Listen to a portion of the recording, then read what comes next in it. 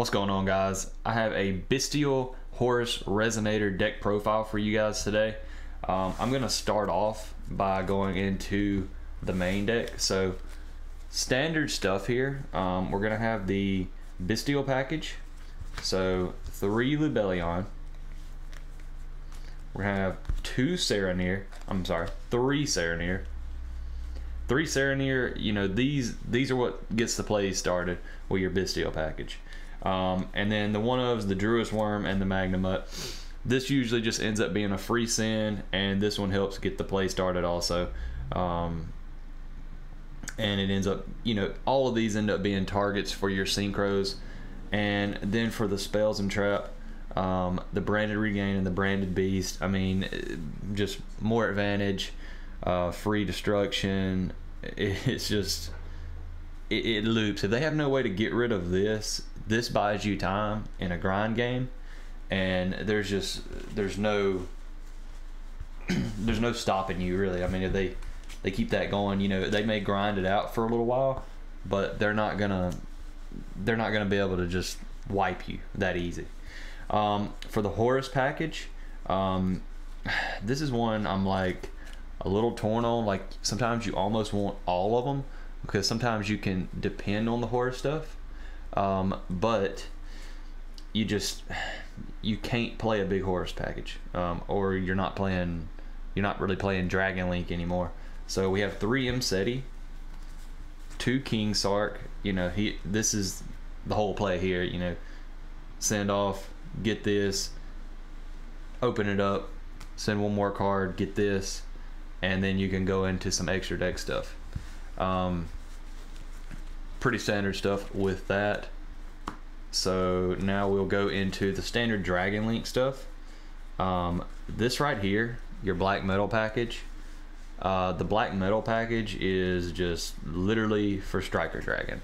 It's just literally only for Striker Dragon. And to be honest with you, in this deck, you uh, I don't know. You I don't know about cutting it, but I don't know. It, it just seems to not come up as much as some of the other stuff.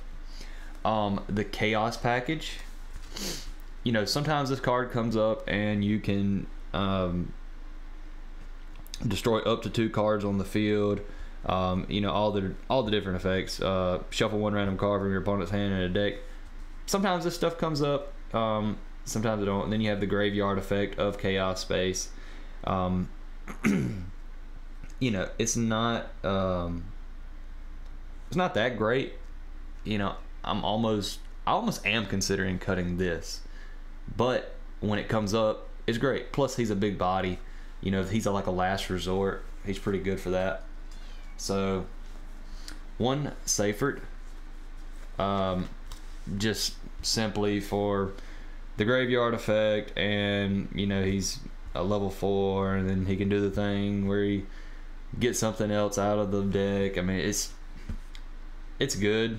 Again, it's one that it don't really always come up, but when it works, it works good.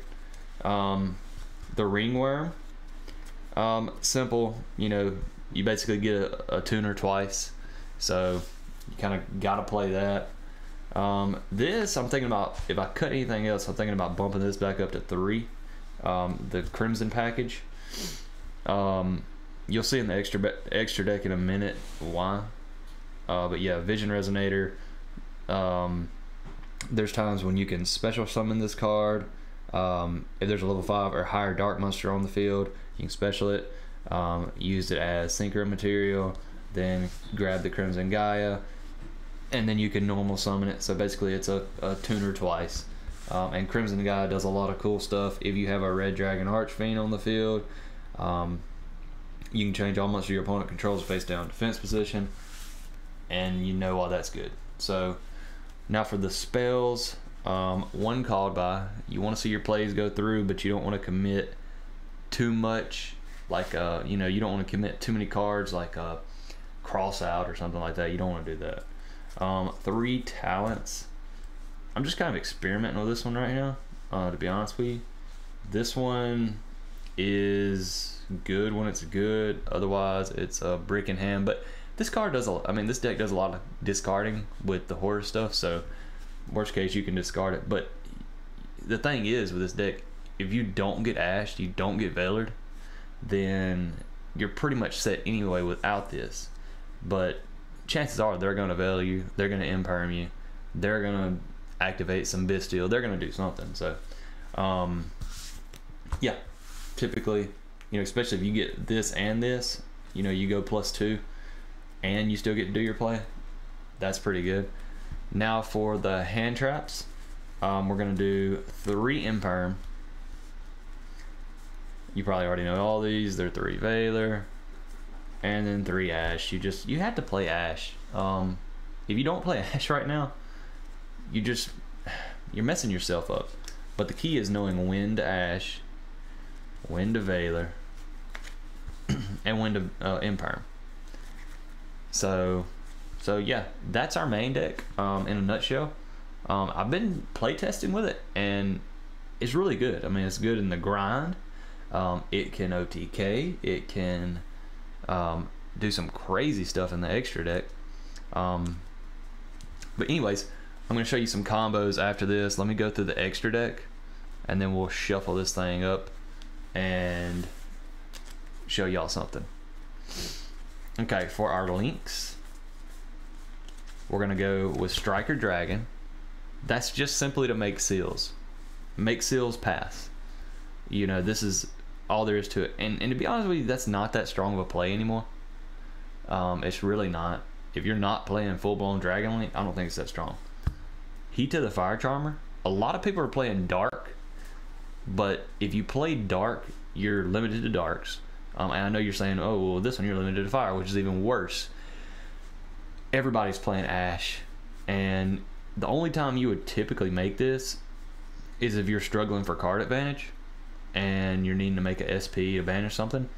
So that means most likely they have asked you or something like that. Plus, you have Rescue Ace rolling around. You have people using uh, Lava Golem, stuff like that. Uh, Seals is just been around forever, and if you play Dragon Link, you just had to play it. So, um, but ironically, it's it's really not that good. I mean, to be honest with you, it's really not. But when it works, it's great, but typically people are going to negate it. So, whatever. IP, I don't think I've ever made this during playtesting. Uh, not one time, because typically you're going for the seals. And by then, you're not going to have time, you're not going to have a way to make IP Masquerena. Um, you just have to make a concerted decision, you know, concerted effort to really make her to go for this play. Um, I don't know. It's it's just I don't know. I may cut this. Just be honest with you, I may cut IP. As soon as I do, I'll need it. Um, SP Little Knight, self-explanatory. Um, it's very easy to make in this deck, so you might as well use it. Um, now for our synchros, Baronne. Baronne is just great. This card's probably going to get banned. It's too easy to make. It's too good. You have a negate and a destroy the turn you summon it. It's it's unreal. Bystial Dispater, it's just so good. Also, um, it's not as easy to make, so I don't think it'll ever get banned, but it's just really good in this deck. Um, and there's some really cool things you can do. I'll, I'll show you later on in the combo guide. Um, Scarlight Red Dragon Archfiend.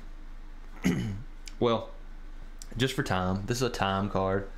Uh, game three, you know, uh, sometimes you need to do that. Red Dragon Archfiend, it's easy to make in this deck it's awesome. Um, especially if you got Crimson Gaia on the field and you want to go for a game.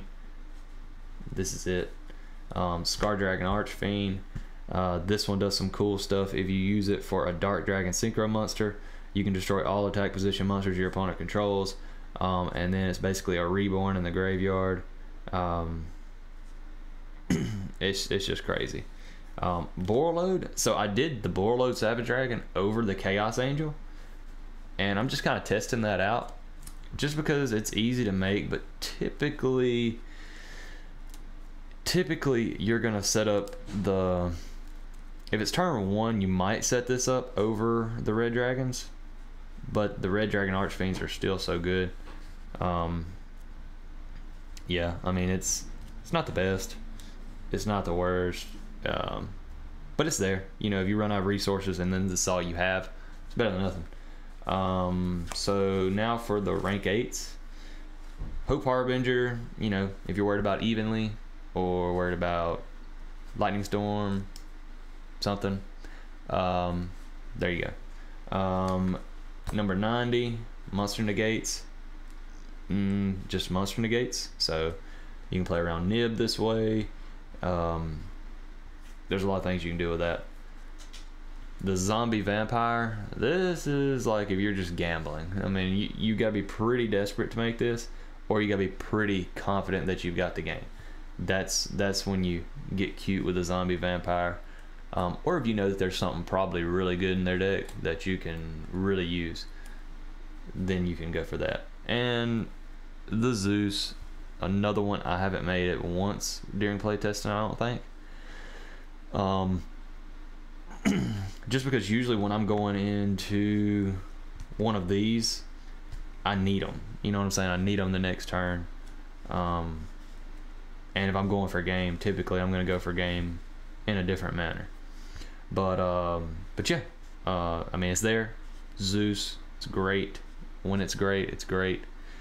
Uh, oh, and another thing, this deck does have the ability to make a four material Zeus with this. You know, if that's really what you know is going to work, then you can go for this. Uh, so, because this sends, Zeus sends. You know, don't destroy, so it can get around a lot of stuff. All right, let's get into some test hands. Let me shuffle it up a couple more times. But look, um, keep in mind there's so many variables and things like that. So, you know, if you know what your opponent's playing, you may go a different route. And keep in mind, just because you would do something, that don't mean it's the right way. And just because I do something don't mean it's the right way. So here's what our hand looks like to begin here. Um, this is a pretty tough hand, but this particular case, I would activate the Chaos Space, and I would send that. That way you can get the effect of that. So Chaos Space, Chaos Space, Vision Resonator, to add the... Alright, so here's our grave now. Um, we are going to get out the levy. Levianeer, can't be normal summon set, keep that in mind. Um, so you really can't grab anything else. Um, activate the Vision Res to get the Crimson Gaia.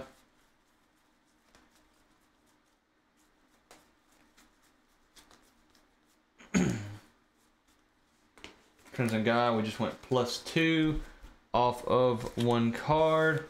So our hand's back at five cards. And we actually have a little bit of advantage now. Um, in this particular case, um, you can activate the Crimson Gaia and just bait it. Um, if you're going first, there's not going to really be anything. So we're going to add the uh, Vision Res from hand. I mean from deck.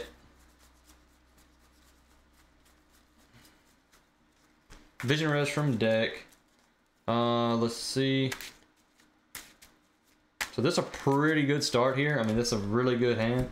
So we are going to have a total of five cards in hand again. Magnamut. Get rid of that Viz in the in the uh, graveyard. Activate effect at the end of the turn. Uh, we will add one to hand. So that's fine. So we control level 6, we can special this, we can normal the ringworm. Alright, and here you have the option, um, I would probably, since you have your crimson stuff, you could go all crimson, but that's the weaker play. I would probably go Baronne, because you can just bring back the Magnamut, so, um, I would go Baronne.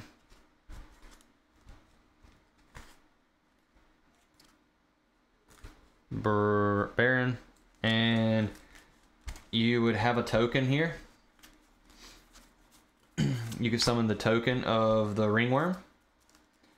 And you still don't have enough engrave for the levy, but you'd have a imperm you could set face down You have a levy sitting on ready, and um, you can pass turn here. And in their standby, you'd bring back the Magnamut. You would add, I would probably add a Druiswurm to hand,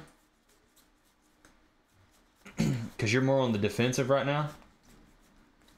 You know, if you're set, if you're good, that's fine. I would add the Druiswurm to hand. So this is your hand now. Depending what they have and what you have, um, I'd probably wait to see what they have, and then bring out the Druiswurm. You got a Baronne Negate. You have this and this, and let's just say the next turn comes around, and they couldn't get past the Baronne or any of this.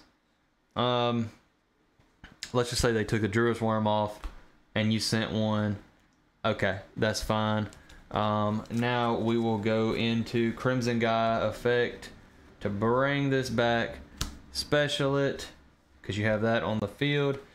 And here's where things get a little cool. And you have some options here. Um, typically you're gonna go into the Scarred Dragon Archfiend.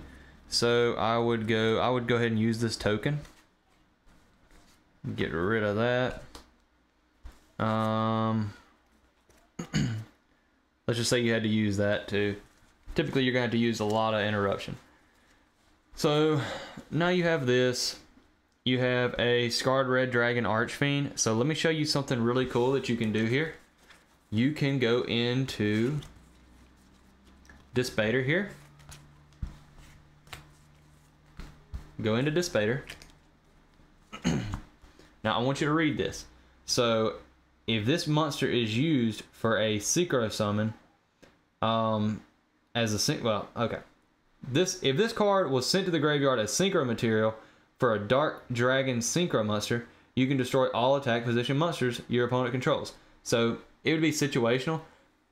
But worst case, you'll use the effect of him, and you will bring out a Red Dragon Archfiend. And you have Crimson Gaia on the field. So, oh my gosh, everything's falling. Alright. So, yeah, this is a pretty crazy board right now. And now you can target one of your banished dark monsters So let's look at our grave now. Um, yeah, let's uh get a levy. Let's get a levy. You know, depending on what you need. Um, if you don't need to banish the uh, the vision resonator, you don't have to. So we could just banish. Um, if you need to destroy cards with chaos, you can do that. If you don't, uh, it, it just depends what you want to do. Um,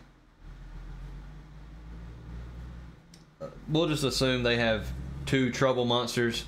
So we'll get rid of this. Um, destroy two of their monsters. Special summon this. Um,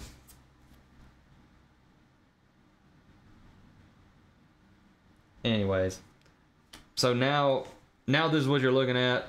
Um, you just went full board. I mean, that's crazy.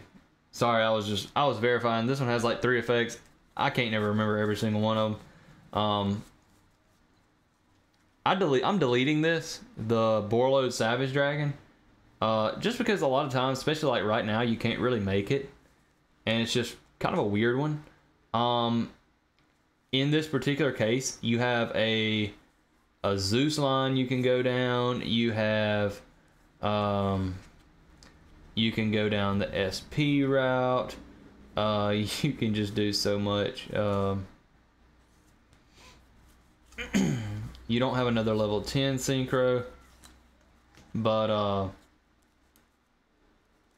you know, you, you could probably in this case this is where one of the times where I would really want to have like a good level three uh, link monster in this deck, just because you can get rid of this, this, and the Baronne if you wanted to, or the Dispater since you've done I don't know. There, there's a lot of things you could do here, but this is enough to kill. This is enough to kill typically. So I, I'm I'm gonna say I'm gonna say it's GG's right there. I mean that's GG's. Um. Anyways, guys, thanks for watching. That was really about the best route it could go. Um. I don't really know of any other way I could have did it to get to that faster or um. I mean I, I don't know. I'm, I don't really know of a. I don't know of any cards in this deck that would help that. Maybe get there faster. More gas. You don't want to run the Rokket stuff. I don't think because I mean then you might as well just play full full power Dragon Link. You know without the Horus stuff. Um. It's hard to say. It really is. But at the end of the day, I think this is a pretty good, pretty good deck, and it's fun. So, um, hey, you know, whatever. Try it out, see how you like it.